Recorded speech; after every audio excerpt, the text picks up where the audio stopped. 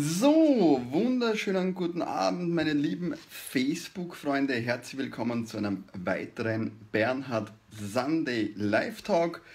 Wir informieren dein Publikum, dass du live bist. Diesmal natürlich wieder auf der öffentlichen Seite, was das Ganze schwieriger macht, zwar mich vielleicht zu finden, aber dafür sind wir da, wo wir auch langfristig hingehören.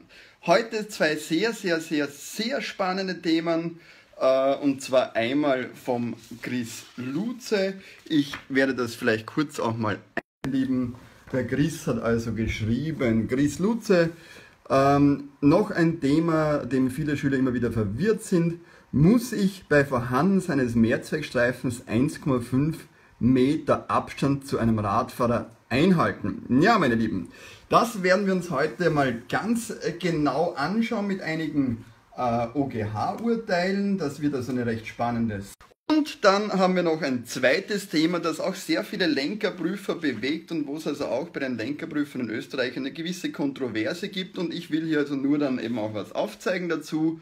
Äh, viele Leute diskutieren auch mit der Polizei. Das zweite Thema, darf man mit einem Motorrad den Mehrzweckstreifen benutzen, um an einer stehenden Fahrzeugkolonne vorbeizuschauen? Ja, also das sind zwei Themen, wo ihr mir es nicht wirklich leicht gemacht habt, aber trotzdem danke. Übrigens danke auch für die vielen, vielen weiteren Themen, äh, die reingekommen sind. Ähm, es äh, freut mich also unglaublich, dass dieser Live-Talk immer bekannter wird und ich werde selbstverständlich im zweiten Teil dann nach diesen 15 Minuten mal auf alle äh, Themen, die ihr gegeben habt, auch kurz eingehen und da sind also schon einige Themen für die nächsten Wochen auch dabei. Ich würde sagen, schauen wir gleich direkt zum ersten Thema zu dieser spannenden Sache, die also wirklich auch die Entscheidungsfrage der Prüfungen ähm, spannend macht. Sagen wir es mal so, ich möchte mich also jetzt wirklich nicht zu weit aus dem Fenster lehnen, ähm, aber es ist ein spannendes Thema und wir haben sehr spannende OGH-Urteile dazu gefunden. Was ich an dieser Stelle aber ganz klar sagen will, ich möchte mich also hier distanzieren von irgendeiner Haftung aus diesen ganzen Sunday Live Talks ähm, das kann ich natürlich nicht übernehmen. Ich sage es auch gerne, warum. Ich habe keine Lust dazu, denn ich mache das Ganze also gratis. Es macht uns Spaß. Mir geht es hier viel mehr um die Diskussion, um die gemeinsame, als um die Tatsache, dass ich jetzt hier irgendwo für äh, haften will, sondern ich möchte nur aufzeigen, Diskussionspunkte und ich würde euch also besonders heute sowohl dann auf YouTube als auch jetzt hier live äh, darum bitten, auch eure Standpunkte zu diesen Themen zu bringen, ruhig auch eure Meinungen mit vielleicht auch äh, entsprechend Links zu posten. Äh, sinnvoll wäre natürlich, wenn man versucht, das, was man postet, auch zu belegen durch entsprechende Gesetzestexte oder Auslegungen, OGH-Urteile etc. Gut, ähm, die Frage nochmal, das erste Thema jetzt äh, für alle, die jetzt eingestiegen sind. Ähm, was war nochmal das erste Thema vom Chris? Das war eben äh, diese Frage nach, äh, muss ich bei Vorhandensein eines Mehrzweckstreifens wirklich 1,5 Meter Abstand zum Radfahrer einhalten? Ja, wenn man sich die Bodenmarkierungen in Wien anschaut, ist das natürlich eine verständliche Frage. Aber ich würde sagen, wir schauen jetzt direkt gleich ins Gesetz und schauen uns mal an, was ich in der StVO dazu gefunden habe. Und da müssen wir mal schauen, die Begriffsdefinition von dem Ganzen. Ähm, was ist eigentlich Überholen? Natürlich, der Chris hat schon vollkommen richtig gesagt, ähm, beim Vorbeibewegen an einem Mehrzweckstreifen, er weiß natürlich, dass es kein Überholen ist, aber ich möchte jetzt alle in diesem Live-Talk also mitnehmen bei der Sache. Äh, und wir schauen uns mal die Begriffsdefinition interessant überhaupt, was ist überhaupt Überholen? Und äh, das werden wir öfters im Dasein als äh, Verkehrsteilnehmer brauchen. Und unter Überholen versteht man das Vorbeibewegen eines Fahrzeuges an einem auf derselben Fahrbahn in der gleichen Richtung fahrenden Fahrzeug. Und jetzt ganz wichtig, nicht als Überholen gelten das Vorbeibewegen an einem auf einem Verzögerungs- oder Beschleunigungsstreifen fahrenden Fahrzeug oder an einem auf einem Radfahrstreifen fahrenden Radfahrer sowie das Nebeneinanderfahren von Fahrzeugreihen auch mit unterschiedlicher Geschwindigkeit auf Fahrbahnen mit mehr als einem Fahrstreifen für die betreffende Fahrtrichtung und das Nebeneinanderfahren auch mit unterschiedlicher Geschwindigkeit im Sinne des 7, äh, Paragraph 7 Absatz 3a. So, jetzt will ich euch also ein paar so Inputs zu dem Ganzen geben, dass man da auch was mitnehmen kann davon. Wir befinden uns hier jetzt in der Begriffsdefinition im Paragraph 2 StVO. Ich werde euch sämtliche Paragraphen und OGH-Urteile im Anschluss dann mit Link dazu posten, dass sich das auch jeder selber in Ruhe durchlesen kann und vielleicht auch dann eben bitte hier drunter zu diesem Thema äh, auch der Chris bitte seine Meinung nochmal kundtun, weil es ist ja nur eine Meinung, die ich hier sage. Eure Meinungen zählen genauso viel natürlich und das ist ja der Sinn des Sunday Live Talks. Was ich noch dazu erklären will, der Paragraph 7 Absatz 3a ist die sogenannte freie Fahrstreifenwahl und das Nebeneinanderfahren bei Kolonnenverkehr, was hier vorher angesprochen war. Jetzt ist es noch so, dass ich äh, ganz kurz eingehen möchte auf diesen Mehrzweckstreifen. Das habe ich zwar ursprünglich für den Schluss dieses Gespräches geplant, aber ich zeige es euch jetzt her, denn es ist eigentlich sehr interessant für uns. Liest man sich die Begriffsdefinition des Mehrzweckstreifens durch, und das ist wirklich ein bisschen eine neue Definition, meine Lieben. Ja? Dann steht hier, ein Mehrzweckstreifen ist ein Radfahrstreifen oder ein Abschnitt eines Radfahrstreifens, der unter besonderer Rücksichtnahme auf die Radfahrer von anderen Fahrzeugen befahren werden darf. Wenn für diese der links an den Mehrzweckstreifen angrenzende Fahrstreifen nicht breit genug ist oder wenn das Befahren durch Richtungspfeile auf der Fahrbahn für das Einordnen zur Weiterfahrt angeordnet ist. Das heißt, was schließen wir bis jetzt aus dem Ganzen, was wir gelesen haben? Erstens einmal, wir wissen einmal, was ist Überholen. Zweitens, wir wissen, dass es kein Überholen ist, wenn wir uns äh, an dem Rad vorbei, vorbei bewegen. Aber wir müssen trotzdem am Ende des Tages hier reinschauen in den Paragraph 15, denn in Wirklichkeit können wir nur eine Analogie schließen zum Überholen. Und jetzt müssen wir überholen schauen, wie wird der Abstand beim Überholen definiert, damit wir uns überlegen können, naja, wie ist dann der Abstand, wenn wir uns vorbei bewegen an einem anderen Fahrzeug, ohne dieses zu gefährden. Und da müssen wir reinschauen in Paragraph 15 Absatz 4. Beim Überholen ist ein der Verkehrssicherheit und Fahrgeschwindigkeit entsprechender seitlicher Abstand vom Fahrzeug, das überholt wird, einzuhalten. So, mehr gibt in Wahrheit die StVO zu diesem her. So, jetzt schalte ich mal wieder ein bisschen auf mich, dass wir ein bisschen miteinander reden können. Daher auch Hi, Servus Chris, Servus Esra, liebe Kolleginnen, liebe Kollegen. Ähm, schön, dass ihr da seid. Und jetzt müssen wir sozusagen gemeinsam überlegen, was könnte man jetzt machen als interessierter Verkehrsteilnehmer, um hier genauere Ideen zu bekommen, welcher Abstand jetzt das sein könnte. Im Gesetz steht nirgendwo eine genaue Angabe der Meter. Falls jemand eine findet, bitte postet das unter das Video. Ich habe also wirklich die letzte Nacht recherchiert und nichts dazu äh, gefunden. Brauche einen Schluck Kaffee. Es war heute saukalt beim Fahrsichertraining. Ich fühle mich auch ein bisschen grippig, aber trotzdem mit voller Energie für euch da. So, war auch ein bisschen stressig jetzt das Ganze. Aber wo könnten wir reinschauen? Natürlich, wir könnten reinschauen in Fahrschulbücher, aber die müssen Sie auch irgendwo her haben und wir können reinschauen ins Prüferhandbuch.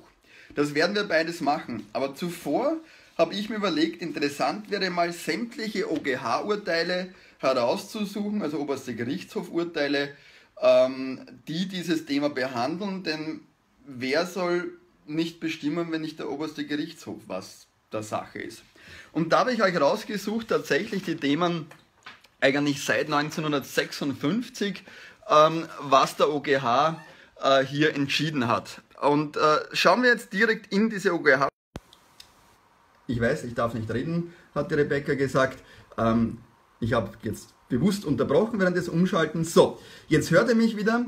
Ähm, und äh, schauen jetzt in diese OGH-Urteile mal rein. Auch die verlinke ich euch natürlich danach, um sie euch äh, danach allen zu zeigen. So, zum 15 Absatz 4 müssen wir jetzt analog schauen, äh, nämlich bezüglich des Seitenabstandes. Und da habe ich jetzt dieses OGH-Urteil von, äh, Moment, da haben wir sogar noch ein früheres von 1956 in dem Fall, das erste gefunden. Da schauen wir jetzt bis zu den heutigen Urteilen so überblicksmäßig durch. Natürlich will ich eure wertvolle Zeit nicht endlos strapazieren, aber ich glaube, es ist sehr interessant hier die, ähm, äh, ja, ich bemühe mich, äh, ja, ich bemühe mich, Rebecca. Ähm, und schön, dass du wieder dabei bist. Ich freue mich sehr. Ja? Äh, es ist aber so, dass wir hier eben jetzt einmal so überblicksmäßig diese Urteile anschauen. Und da haben wir von 1956 den ersten Rechtssatz eines OGH-Urteils. Im Allgemeinen genügt ein Abstand von einem Meter beim Überholen des Radfahrers durch einen Personenkraftwagen. Und das finde ich ein sehr, sehr interessantes OGH-Urteil, das in meinen Augen, und bitte, ich möchte das jetzt wirklich sehr vorsichtig formulieren, aber dass man, denke ich, also auch die OGH-Urteile sehr wohl auch zum Beispiel bei einer Lenkerprüfung natürlich mit einbeziehen sollte, als auch natürlich bei einer etwaigen Diskussion mit einem anderen Verkehrsteilnehmer oder einem ähm, Polizisten oder was auch immer. Immerhin ist es ein OGH-Urteil. Und jetzt schaut man hier weiter, natürlich, klar, OGH-Urteil ist eben ein Urteil, ja, schon klar. Aber ich finde es interessant, wie der oberste Gerichtshof hier mehrfach entschieden hat. Jetzt schauen wir hier weiter. 69 hat man dann dazugefügt, das gilt aber nicht bei einer Fahrgeschwindigkeit von 85 bis 100 km/h und einer Sichtbehinderung. Gut, wenn wir jetzt vom Ortsgebiet reden und ich nehme an, Chris, sag mir, wenn es anders ist, ich nehme an, du sprachst bei, deiner, bei deinem Thema vom Ortsgebiet mit Mehrzweckstreifen, weil wir werden selten auf der äh, Freilandstraße mit einem Mehrzweckstreifen zu tun haben. Das heißt, äh, wir haben hier so diese ganz spannende Beurteilung, die eigentlich das Ganze ein bisschen am Kopf stellt mit diesem einen Meter. Ja, wir sind natürlich noch nicht fertig und es kommen hier noch mehrere Meinungen. Ja, danke Chris, passt, dachte ich mir dazu. Ja, also das heißt aber, dieses Urteil bleibt noch immer bei dem einen Meter. Wir schauen jetzt weiter runter zu weiteren Urteilen. Ähm, es gibt dann hier einen weiteren Rechtssatz von 69. Der Seitenabstand muss umso größer sein, je höher die Fahrgeschwindigkeit des überholenden Fahrzeugs und je labiler das überholte Fahrzeug mehrspurig einspurig ist. Beim Überholen eines einspurigen Fahrzeugs unter normalen Umständen Seitenabstand von einem Meter ausreichend. Jetzt sind wir wieder bei dem 1 Meter und nicht bei den 1,5 Meter, um die wir so oft in unserem Leben ja schon diskutieren. Ja? Nicht aber, und da hat man das wieder wiederholt von dem damaligen Entscheidung, bei 85 bis 100 und Sichtbehinderung. Gut, äh, ich will euch jetzt wie gesagt nicht die Zeit endlos nehmen, ihr könnt das in Ruhe nachher selbst weiter durchlesen. Ich will hier nur bei diesem Sande Live Talk nach und nach das zeigen, was hier gibt. Ähm, der Seitenabstand muss umso größer sein, je höher die Fahrgeschwindigkeit des Überholens, je labiler, das wiederholt sich also hier immer wieder. Ähm, dann hat man hier diverse Beisätze, wer will, kann das aufmachen. Aber am Ende des Tages kommen wir immer wieder auf diese gleiche Anzahl, auch 73 wieder. Äh, beim Überholen des einspringen Fahrzeugs unter normalen Umständen ein Seitenabstand von einem Meter ausreichend, nicht aber 85 bis 100 haben wir da wieder das Urteil, gut, das kennen wir schon. Und dann haben wir noch einmal ein Urteil mit 1,5 Meter und das habe ich mir dann auch genauer angesehen und da ging es aber darum, dass ein Motorrad ein Motorrad überholt hat und äh, ja, von mir aus machen wir das auch ganz kurz auf, dass man sieht, worum es da geht. Ich verlinke euch diese ganzen Links dann nachher, dass ihr in Ruhe das alles nochmal anschauen könnt. Da ging es um eine Geschwindigkeit von 100 km/h, wo ein Motorrad, wenn ich mich richtig erinnere, einen Mofa überholt hat. Und da ging es nur darum, dass man dann sogar gesagt hat, lest euch das in Ruhe durch, der Überholende darf den Seitenabstand nicht größer als erforderlich wählen sogar. Da ging es sogar umgekehrt, denn auch er bleibt an die Grundregel des 7 Absatz 1 Rechtsverordnung gebunden und da haben wir ihm gesagt, okay, die eineinhalb Meter waren also vollkommen angepasst bei einer Geschwindigkeit von 100 km/h, mit der dieser Mopedfahrer überholt wurde. Der Mopedfahrer, der Motorfahrradfahrer hat nämlich geklagt, äh, weil er nach links abgebogen ist, ohne Blinken und Schauen und es dann zum Unfall gekommen ist. Also äh, und da hat man dann also nochmal ganz klar vom OGH entschieden, ja, 1,5 Meter bei 100 km/h vollkommen in Ordnung. Weiter links wäre sogar ein Verstoß gegen die Rechtsverordnung gewesen, wenn man unnötig weit sozusagen ausgeschert hätte im Zuge dieses Überholmanövers. Auch das finde ich ein sehr, äh, danke für die Daumen ab, ja, ein sehr interessantes Urteil. Wie gesagt, ich zeige euch hier nur die Urteile. Ich will hier nicht jetzt äh, irgendwie gegen alles äh, rebellieren und so weiter. Und ihr wisst, ich bin selbst Radfahrer und bin natürlich auch an Sicherheitsabstand und an Verkehrssicherheit mehr als nur interessiert, ja. Aber ich finde es interessant, diese Urteile konkret anzuschauen. Und wie gesagt, lest sie euch bitte, wer Interesse hat, durch und sagt mir auch eure Meinung dazu. Ich schaue jetzt nochmal, was ich sonst noch habe. Ja, ich habe noch ein weiteres Urteil hier äh, gefunden Wer also eine Personenhälfte mit 30 einen etwa 17 km auf einem Rad von einer Seitenabstand von 80 cm holt, haftet für den durch den Kontakt der Fahrt zum Rad entstandenen Schaden weder nach bürgerlichen noch nach Kraftfahrzeughaftpflichtrecht.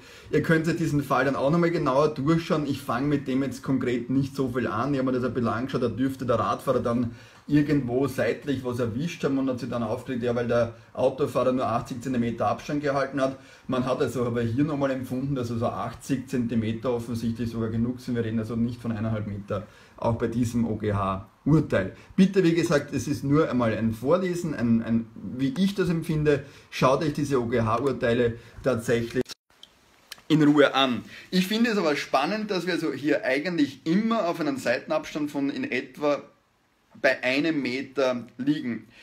Wie kommen wir jetzt auf diese eineinhalb Meter, die gerade in der Fahrschule und in den Fahrschulbüchern ja immer wieder gepredigt werden? Ich zeige euch jetzt mal ganz spannend den entsprechenden Abschnitt im Prüferhandbuch. So, ja, Rebecca, nicht reden, Moment, ich bin ruhig. So, jetzt darf ich wieder reden. Prüferhandbuch, schauen wir in dem Fall auf die Seite 75, 74 äh, ich halte euch das jetzt einfach so vor die Kamera. Ich habe keine Ahnung, ob man das jetzt hier lesen kann. Seitenabstand, geht das irgendwie? Ähm, ich konnte das nur so machen, ja. Und hier steht jetzt geschrieben, von einspurigen bzw. Personen ist abhängig von der Geschwindigkeit und gefahrenen Umständen mindestens 1,5 Meter von mehrspurigen Fahrzeugen unbedingt mindestens 1 Meter Seitenabstand einzuhalten. Bei Schienenfahrzeugen genügt Seitenabstand von 0,5 mindestens. Aber man hat hier sehr wohl, und ich glaube, dass man sich hier wirklich was auch überlegt hat, ähm, man hat hier also sehr wohl auch etwas dazugeschrieben, was ich also bei den Lenkerprüfungen, wo ich dabei war, dann teilweise, also ich finde es gut, dass wir das jetzt hier gemeinsam anschauen. Ähm, und auch interessant natürlich für alle Autofahrer, dass wir das hier anschauen, selbst bei der direkten Prüferhandbuch. Diese Abstandsrichtwerte können bei ausreichender Geschwindigkeitsreduktion auch unterschritten werden, ohne dass dies als Mangel gewertet wird werden muss. So, gut, das wollte ich euch jetzt auch nochmal hier geben und bitte ich will jetzt hier nicht rebellieren gegen sämtliche Urteile der letzten zig Jahre bei Lenkerprüfungen. Mir geht es nur darum, dieses also aufzuzeigen, auch im Sinne der Verkehrssicherheit und Interesse der Allgemeinheit, was also hier sozusagen an Dokumenten zu finden ist. Und mich würde jetzt natürlich sehr stark eure Meinung interessieren dazu. Was ich auch noch reinbringen möchte, sind jetzt noch zwei Punkte, nämlich was findet man in den Fahrschulbüchern, was findet man auch in meinem Fahrschulbuch dazu. Äh, wir schreiben natürlich in den Fahrschulbüchern ganz bewusst eineinhalb Meter hin und das ist vielleicht auch eine gewisse Wechselwirkung zum Prüferhandbuch, das aber hier eigentlich auch sehr schlau formuliert wurde äh, mit dieser Unterschreitung, die möglich ist, weil ja auch die OGH-Urteile, die jetzt finde ich sehr wirklich spannend sind, ich kannte die bis heute nicht, eben hier entgegensprechen. Und das muss auch für euch interessant sein, natürlich im Sinne, wenn es wirklich mal zu einem Unfall oder so sonst etwas kommt, weil man hier ganz klar also einen anderen Abstand nimmt, als man eigentlich im allgemeinen Gebrauch verwendet hat. Ja? Äh, die eineinhalb Meter schreiben wir in die Fahrschulbücher rein, weil es natürlich hier um die Verkehrssicherheit geht, dass wir sagen, ja, wir haben lieber äh, ein bisschen mehr Abstand und ich orientiere mich natürlich mit dem Fahrschulbuch für die Fahrschule auch an Prüferhandbuch und Prüfprotokoll. Äh, ganz klar, wir wollen ja auf die Lenkerprüfung und auf spätere Leben vorbereiten. Aber wie gesagt, wir haben hier also ganz klar auch irgendwo widerlegt, diese eineinhalb Meter als dieses Fixum, das wir haben. Ja, also um das, glaube ich, da werden wir noch ein bisschen weiter diskutieren können zu dem Thema. Ähm, das war eigentlich auch schon mein Beitrag zum ersten Thema. Ich sage mal so quasi Vorhang zu, alle Fragen offen, aber ich hoffe, ich konnte hier ähm, einiges an Inputs geben und es war jetzt wirklich nicht einfach, sich das alles im Kopf zu merken, in welcher Reihenfolge ich euch das hier sagen will. Ich habe versucht, das die letzte Nacht vorzubereiten. Leider Nase zu, fühle mich grippig, aber keine Sorge, ich werde trotzdem in die Arbeit kommen die nächste Woche. Es ist nur so, dass ich mich heute auf die heiße Dusche und auf das Bett nachher freue. Gut, das war das erste Thema. Postet mir bitte jetzt und auch nachher und die nächsten Wochen, Monate und Jahre dazu, was ihr meint. Vielleicht machen wir dann nochmal in ein paar Wochen ein Thema, wo wir das alles einarbeiten gemeinsam. Aber ähm, ich denke, es war sehr spannend, sich über diesen Seitenabstand beim Vorbeibewegen, Überholen an einspurigen Fahrzeugen mal genauer ähm, zu unterhalten. Ja, Chris, das hoffe ich auch und ich bin gespannt auf die Diskussion und wie gesagt, ich hoffe, ich habe jetzt hier das entsprechend vorsichtig äh, formuliert. Gut, meine Lieben, das zweite Thema, mir ist wichtig, dass wir am Beginn immer sehr konkrete Themen durchmachen, nachher in die allgemeine Diskussion übergehen und dann werde ich auch, Rebecca, natürlich deine Frage äh, beantworten. Ja, aber das gehört dann schon zu dem Bademantel-Teil und Smalltalk. Wir bleiben jetzt noch beim äh, äh, nächsten Thema und das zweite Thema ist auch ein ganz entspannendes. Danke übrigens für die guten Besserungswünsche. Ich kann sie momentan brauchen, vor allem dieses Fahrsitztraining. Es war heute so kalt. Ich liebe Fahrsitztraining, aber es war saukalt heute. Ja. Ähm, da hätte ich ganz gern, vielleicht könnte man die einfach nach Spanien verlegen im Winter, diese Phase jetzt Trainings. Müssen wir mal die Schüler fragen, ob sie mitkommen können, würden. Ja, ähm, das zweite Thema war die Frage, darf man, um sich an einer stehenden Fahrzeugkolonne vorbeizuschlängeln, den Mehrzweckstreifen verwenden mit einem Moped, Motorrad, whatever? Und diese Frage wird also diskutiert im Prüferclub. Diese Frage haben wir diskutiert unter Lenkerprüfern, in der Prüferausbildung, in der Fahrerausbildung, unter Fahrern, unter Autofahrern, unter Mopedfahrern. Was da diskutiert wird bei Polizisten, wie oft man da über äh, Dinge diskutiert, das ist unglaublich. Ich versuche jetzt hier mal einfach meine Interpretation der Gesetze und OGH-Urteile hier einzubringen und denke auch, das ist ein ganz spannender Punkt ich drehe jetzt einfach nochmal mein Drehbuch ein wenig um, aber worum geht es jetzt überhaupt? Vorbeischlängeln, warum darf das überhaupt ein einspuriges Fahrzeug? Ich zeige euch mal diese Bestimmung, die es uns erlaubt, als Einspuriger vorbeizuschlängeln. Bin ruhig und rede wieder. So, ähm, und zwar seht ihr, wenn ihr schaut, so, wo habe ich das zeige jetzt offen? Wir müssen jetzt den Paragraph 12 irgendwo finden. Ähm, da ist der 12er. Wenn man sich den 12er anschaut, den Absatz 5, äh, steht hier, ich habe jetzt auch versucht, das übrigens größer zu machen, dass man auch das lesen kann jetzt mittlerweile langsam.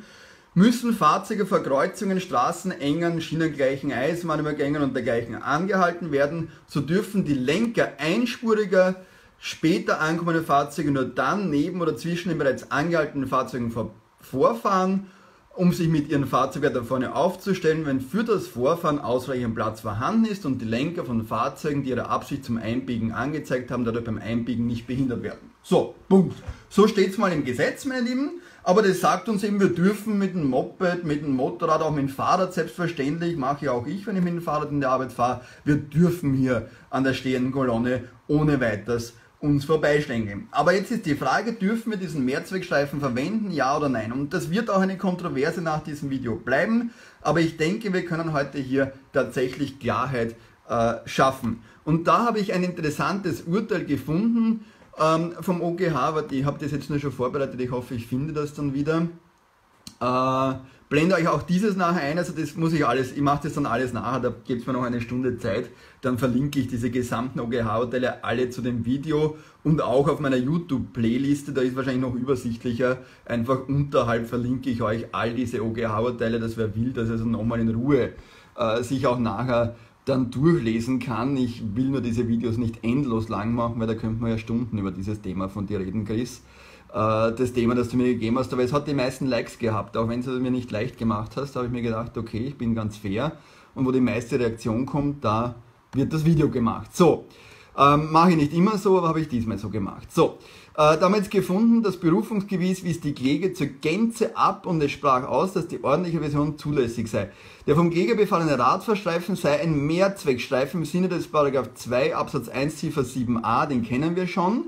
Und nach Paragraph 8 Absatz 4, ja, danke Chris, ja, ähm, äh, nach Absatz 4 Ziffer 2 ist der Foster das Befahren von Mehrzweckstreifen mit Fahrzeugen, die keine Fahrräder sind, nur dann gestattet, wenn der links an den Mehrzweckstreifen angrenzende Fahrstreifen nicht breit genug ist oder wenn das Befahren durch Richtungsfälle auf der Fahrbahn für das Ein- und so weiter Fahrt angewendet ist und überdies dadurch Radfahrer weder gefährdet und behindert werden. Diese Ausnahmetatbestände liegen hier nicht vor. So, jetzt muss ich natürlich ganz kurz sagen, worum ist es hier gegangen bei dem Ganzen? Das war ein Unfall, wo, im, wo ein Lenker nach links abgebogen ist und im Gegenverkehr kam ein Moped über den Mehrzweckstreifen entgegen und es kam dann zur Detonation zwischen dem Moped und dem nach links im Gegenverkehr einbiegenden Autofahrer.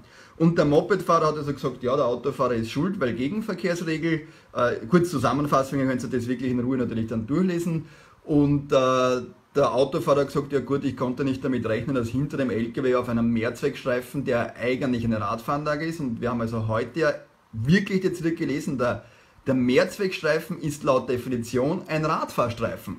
Das ist also ganz interessant. Das habe ich bis jetzt so nicht direkt gelesen, muss ich ganz ehrlich zugeben. Also es ist tatsächlich ein Radfahrstreifen, der einfach in diesem Abschnitt als Mehrzweckstreifen gekennzeichnet ist. Ja? Damit gelten grundsätzlich alle Bestimmungen des Radfahrstreifens.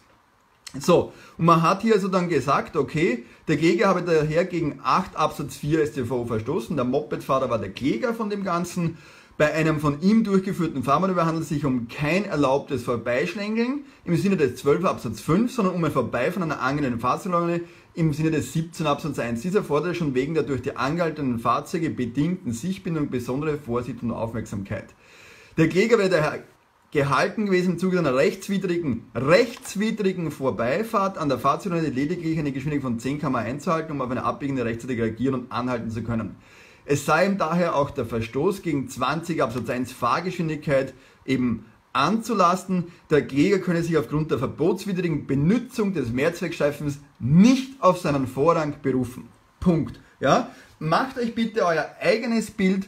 Ähm, da steht ja noch dabei, der Umstand, dass sich auf dem Radweg ein Fahrrad hätte nähern können, bla bla, ist also auch unbedeutend. Ja? Das heißt also, hier steht vom OGH ganz klar, dass man nicht den Mehrzweckstreifen für das Motorfahrrad oder Moped verwenden darf, dass das ausschließlich für Radfahrer gedacht ist. Ich möchte noch den 8 Absatz 4 zeigen, wo das auch nochmal ganz klar äh, drinnen steht. Heute haben wir sehr viele Fenster offen. So, ja, 8 Absatz 4, äh, da wir zuerst einmal oben lesen, die Benutzung von Gehsteigen, Gehwegen und Schutzinseln mit Fahrzeugen aller Art und die Benutzung von Radfahranlagen mit Fahrzeugen, die keine Fahrräder sind, insbesondere Motorfahrräder, ist verboten.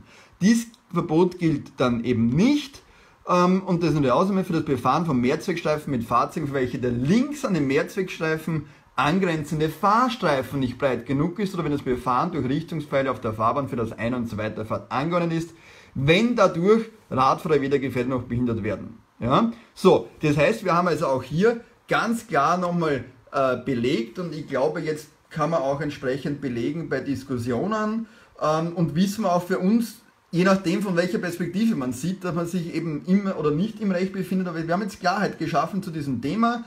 Was ihr macht, ist natürlich jeweils eure Entscheidung und um das geht es mir hier gar nicht. Mir geht es nur darum, Jetzt schalte ich wieder auf mich um. Mir geht es nur darum, dass ich hier euch ganz klar zeige, was die Gesetzesgrundlage ist und dass wir einmal jetzt also diese zwei Themen, denke ich, widerlegt und belegt haben mit entsprechenden OGH-Urteilen und mit entsprechenden Gesetzestexten, die einfach ihr auch selbst auslegen könnt, wo ich meine Meinung dazugegeben habe. Ihr könnt eure Meinung, wie gesagt, wieder drunter posten zu diesen beiden enorm spannenden Themen, wo wir schon in Österreich, weiß nicht wie viel darüber diskutiert haben. Ich denke, der heutige Bernhard Sande Live Talk hat hier enorm viel Klarheit äh, in dieser Sache gebracht und vielleicht auch neuen Gesprächsstoff, auch vielleicht für die Fahrschulausbildung, für die Lenkerprüfungen und vielleicht auch für die ein oder andere Urteilsfindung oder Strafe äh, im Zusammenhang mit Mehrzweckstreifen, sei es in der Benutzung jetzt oder sei es auch eben im Vorbeibewegen an diesen Mehrzweckstreifen. Es ist kein Überholen, das Vorbeibewegen an einem Radfahren, einer Radfahranlage, das ist ganz klar, aber es gelten analog die Tatsachen und die Seitenabstände, dass wir nicht gefährden dürfen und dementsprechend auch analog eben diese Urteile, die wir angeschaut haben, des OGH. So, das war der allgemeine Teil. Ich habe euch versprochen, äh, wir schauen jetzt noch in diesen etwas privateren Teil hinein. Jetzt kommt natürlich gleich mal eure äh, Themen. Ich scroll mal hier ein bisschen rum. Was kam hier? Gute Besserung. Ich hoffe, dass mal jemand von der MA65 dieses Video sieht. Das hoffe ich auch. Bist du daheim? Ja, ich bin zu Hause. Jetzt kommt diese Zeit, wo ich wieder sehr viel also arbeite, auch in den Fahrschulen, fahre jetzt 24-7 jeden Tag. Aber ich freue mich schon und äh, es wird im Frühjahr dann hoffentlich wieder auch Urlaube geben. Ja, einmal fahre ich jetzt nach Kitzbühel in der Vorweihnachtszeit wahrscheinlich noch. Aber das ist bei mir zu Hause. Ähm, und äh, ja, so schaut es in meiner Wohnung aus. So, äh, ja, aber da, da ist. Hi, Gina.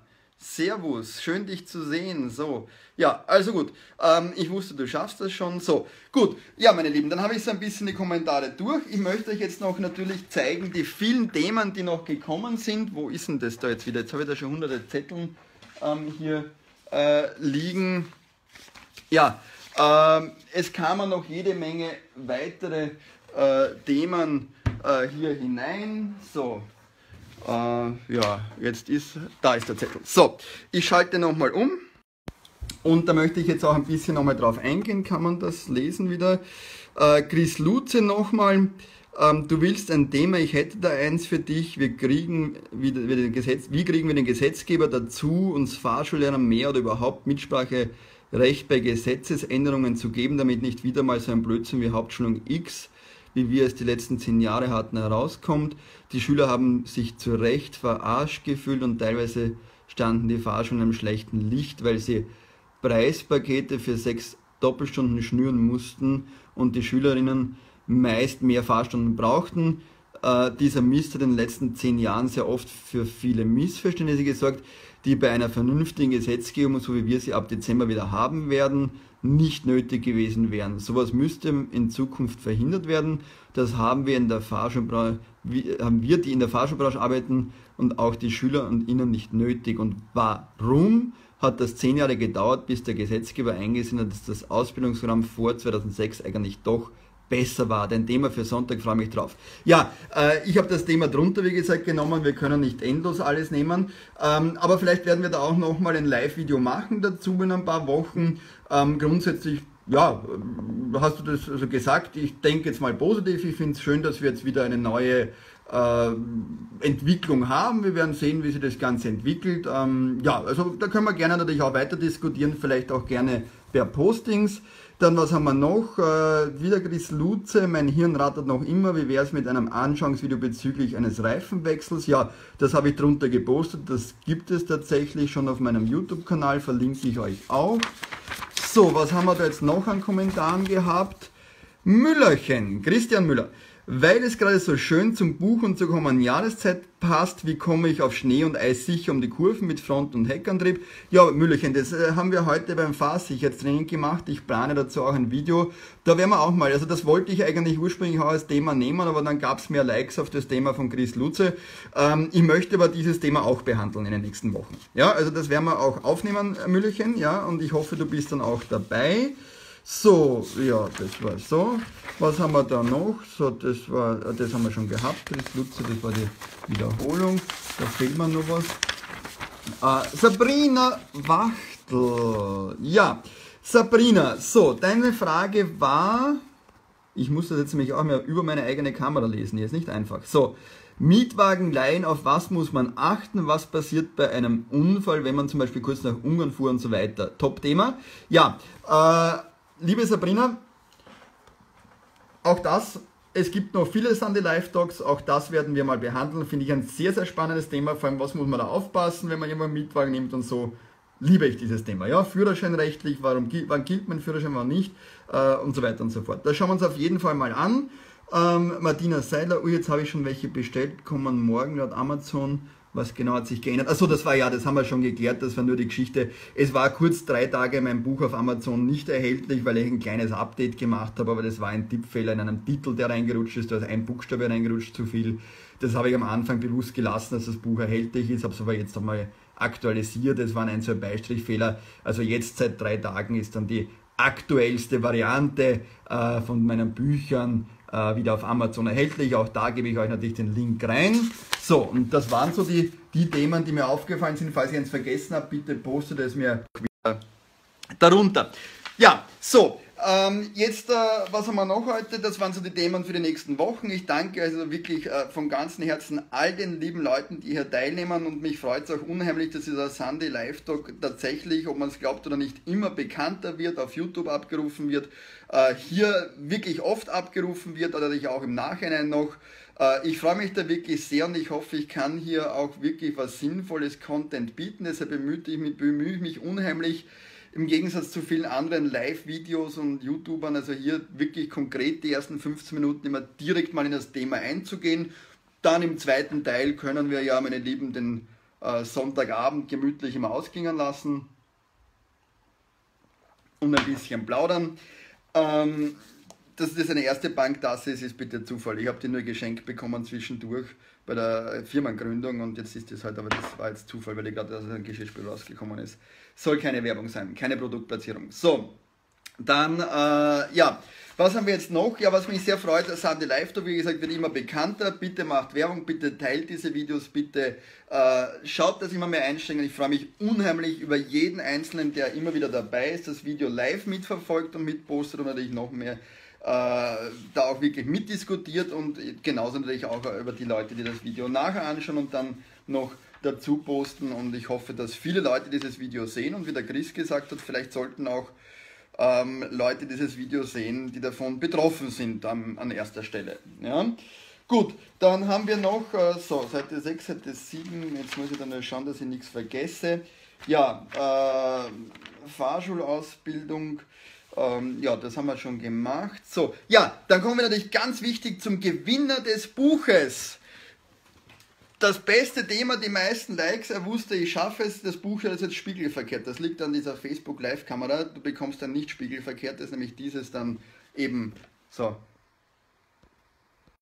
Ich schalte mal um. So, hier vorne sieht es normal aus. Chris Lutze, du hast gewonnen von mir fahrdynamische Grundlagen, warum dein Auto nicht driftet. Gewinn bekommst du selbstverständlich nächste Woche. Ich freue mich sehr, dass ich das herschenken darf, dieses Buch. Ähm, bei 1000 Likes auf der Facebook-Seite gibt es dann das nächste Gewinnspiel. Ja gut, ich weiß, das ist jetzt ambitioniert, aber ich denke, wir schaffen das die, in der nächsten Zeit irgendwann. Ja, und ich freue mich, wenn das also immer größer wird, das Ganze. Ähm, ja, also Buch gewonnen, gratuliere, Buch bekommst du selbstverständlich und äh, gerne. Und äh, ja, was wollte ich jetzt noch sagen, was mich auch sehr freut? An eigener Stelle äh, kann man dazu sagen, äh, immer mehr Fahrschulen haben sich jetzt schon äh, um mein Buch gekümmert und wollen also umsteigen auf mein Fahrschulbuch. Das freut mich natürlich auch sehr. Ähm, das wollte ich noch sagen. Ansonsten denke ich, haben wir jetzt einmal für heute so der ziemlich alles durch. Ja, ich bringe das Ganze dann also auch auf YouTube wieder rüber. Bitte abonniert auch meinen YouTube-Kanal jetzt dann, dass wir hier wirklich langsam aufbauen können. Äh, ich versuche jetzt auch nach und nach, wie gesagt, besser zu werden. Ich sage mal so vier, fünf Wochen äh, werde ich noch brauchen, bis ich mit dem ganzen Facebook und YouTube und Live und öffentliche Seite und privates Profil und Pipapo. Äh, für so einen kleinen Fahrer, wie ich es bin, ist es nicht ganz einfach, mit diesen Dingen von 0 auf 1000 zurechtzukommen. Vor der Kamera zu sprechen, das ist alles noch ein bisschen Aufregung und Nervosität dabei. Aber ich denke, in ein paar Wochen werden wir alle gemeinsam darüber dann lachen und das also immer besser hinbekommen. Äh, wie mein Motto ist, äh, es gibt ein paar so Sprichwörter, wer aufhört, besser werden zu wollen, hört auf, gut zu sein, sage ich immer. Das zweite Thema, das jetzt genau zu diesen Live-Talks passt auch, ist also Dinge wie wer immer tut, was er schon kann, bleibt immer das, was er schon ist. Also da bemühe ich mich jetzt halt auch einfach eben, wie gesagt, für euch besser zu werden, Equipment zu kaufen. Ich habe jetzt schon mal so ein MacBook besorgt, eigentlich hätte das heute für den Live-Talk verwendet werden sollen. Hat nicht funktioniert, das Handy tut es auch, ja, aber wie gesagt, ich versuche hier so ein bisschen Equipment zu besorgen, dass das auch immer besser wird, auch vom Ton und so. Aber ich denke, es kommt von Herzen für euch und gerade die ersten 15 Minuten Bomben-Content äh, von diesen Sunday Live Talks, das ist schon mal, äh, hoffe ich für euch, ich wünsche es mir sehr, äh, kostenlos, natürlich selbstverständlich für euch wert einzuschalten. Ja, noch etwas, was ich dazu sagen wollte, was es kostenlos gibt. Ich habe also wirklich 24-7 gearbeitet an diesem Projekt, auch die letzten Tage. Auf meiner Homepage ist wieder also manches dazugekommen, www.bernhardhummel.at.